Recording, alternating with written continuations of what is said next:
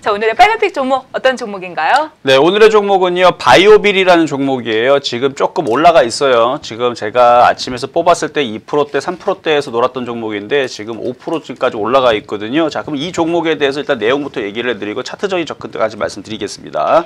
자, 이 회사는 원래는 이제 합성수지용 착색제 제조 등을 사업을 하는 그런 이제 회사이고요. 신규 사업으로는 줄기세포 사업도 같이 이제 진출을 해서 하고 있는 부분인데 얘가 이제 어제 말씀드렸던 어제 여러분들 어, 살 수 있다고 말씀드렸던 뉴프라이드하고 뭘 같이 하냐면 바이오빌과 뉴프라이드가 이제 미국에서 대마초 유통 사업을 진행을 합니다. 그래서 뭐 캐나다에서 일단은 합법화에 대한 그 약으로서 어, 어 약으로서 이제 어 합법화에 대한 얘기가 지금 나와주고 있기 때문에 국내에서도 그런 얘기들이 지금 나와주고 있고 거기에다가 지금 찌라시로 돌아다니는 얘기가 어, 기호용 식품으로 담배처럼 기호용 식품으로 대마초가 이제 합법화 될 수 있다라는 뭐 그런 얘기 나오는데 사실 저는 그거하고는 별로 그렇게 관심이 없어요. 뉴스는요 그냥 거들 뿐입니다. 뉴스가 맞으면 좋은 거고 안 맞으면 그만인 겁니다. 대신에 그런 기대감으로 날아가는 게 원래 주식이에요. 원래 그게 됐다. 뭐 예를 들어서 뭐 대선 테마주 같은 됐다라 그러면 그때부터 빠지죠. 되기 전에 기대감 때문에 폭등을 합니다. 그건데 자 바이오빌 차트 보세요 한번. 일단은 차트의 모양을 보게 되면 완전 날바닥에서 날바닥이죠. 쭉 올라가고 쭉 빠지고 쭉 올라갔다 쭉 빠지고 몇 년 빠졌냐? 1년, 2년, 3년, 4년 빠졌는데 가장 여러분들 여기서 왜 제가 갑자기 어, 딴 거 이제 뭐 여러분 뭐, 뭐 스페코도 최근에 많이 움직였고 지금 대북 테마주도 막, 막 움직이고 하지만 갑자기 이쪽을 언급하는 이유는 이 거래량을 보세요. 이 거래량은요. 누군가 들어와서 지금 작당 모의를 하고 있는 모양이 굉장히 많이 보입니다. 딱 눈에 걸렸어 저한테. 지금 바닥에서 누군가가 지금 매집을 했어요 지금. 왜 매집을 했는지는 조만간 뉴스들이 터지면 되겠죠. 그러니까 얘네들이 뭔가 뉴스를 아는 그 세력들이요 지금 바닥에서 매집을 시켜놨는데 이 이렇게 하락이 이게 이제 삼각 수렴이라 그러잖아요. 이게 1년 정도의 모양만, 그러니까 1년 정도의 삼각 수렴을 모여도 바닥에서 몇백 프로가 올라가는데 지금 4년 동안 이렇게 모양을 만들어 놓고 이미 여기서 먼저 들어갔던 개인들은 이미 다 말라 죽었죠. 그렇죠? 근데 바닥 부분에서 이 거래량을 보게 되면 지금 이쪽은 거래가 본격적으로 실리기 시작하게 되면 윗방향으로 팍 튑니다.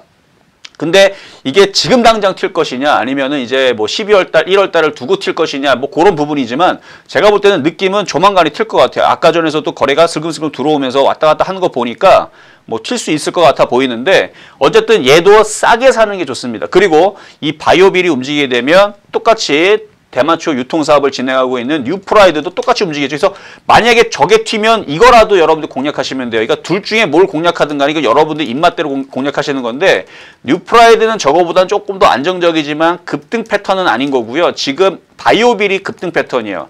최근에 이제 보면은 여기에 좀 거래가 이렇게 실리고 눌리고 이게 이제 태권브이 패턴이라고 그러는데 조정받을 때 거래가 마르고 올라갈 때 치고 그래서 저는 이걸 태권브이 패턴이라고 그러는데 이중바 이렇게 만들어 놓고 짝꿍댕이 만들어 놓고 수렴이도 만들어 놓고 완전 날바닥에서 거래량이 실렸죠.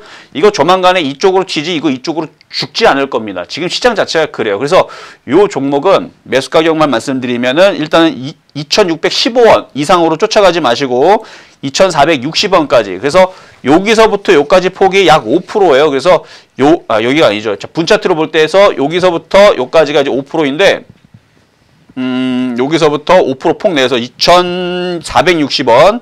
그래서 전저점 라인. 요 폭 내에서 최대한 좀 저점 매수를 하시면 좋고 저점 매수 하려고 하는데 얘가 튀어날아가 갖고 못 샀다.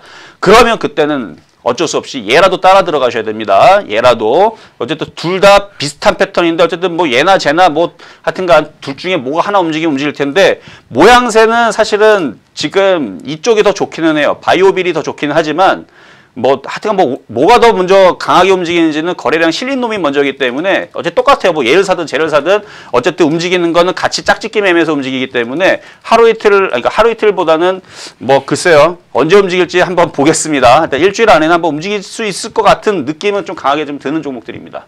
네, 바이오빌 그리고 뉴프라이드 여러분들에게 이야기를 해드린 대마초 관련된 종목입니다. 자, 여러분들이 좀 판단하시기에 바이오빌은 조금 더 빨리 움직일 수 있고요. 뉴프라이드는 조금 더 안정적이지만 그 폭이 바이오빌이 훨씬 더 클 수 있다라는 이야기 참고하시면서요. 보시면 좋을 것 같습니다.